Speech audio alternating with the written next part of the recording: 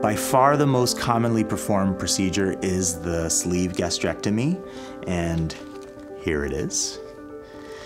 So in the sleeve gastrectomy, we're removing about 80 to 90% of your stomach.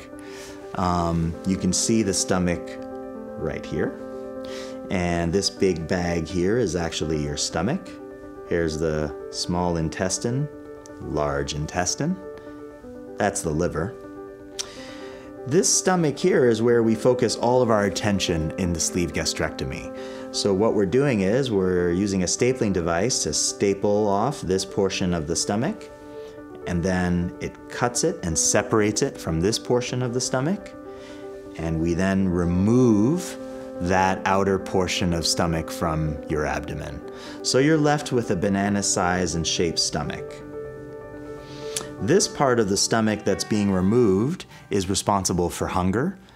It produces a hunger hormone called ghrelin. And when we remove that hormone, well, there goes your hunger. The beauty of this surgery is its simplicity. It's done with a minimally invasive approach. It only takes about 35 to 45 minutes to do.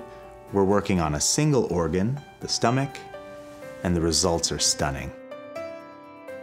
This surgery will impact your health in three different ways. One, it'll decrease your hunger, so you take in less calories. Number two, you will be satisfied with a smaller amount of food. And number three, it can reverse diabetes.